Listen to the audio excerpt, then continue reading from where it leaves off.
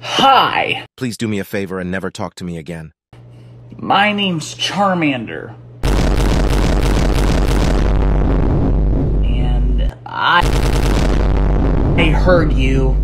You and your friend were talking about how you think furries deserve to be hunted. Just wait till it's deer season, friend. And that hurts my feelings. I like to play furry dress up. So, next time you want to say such a rude comment and act like I wouldn't hear it, ah! I'll hit you.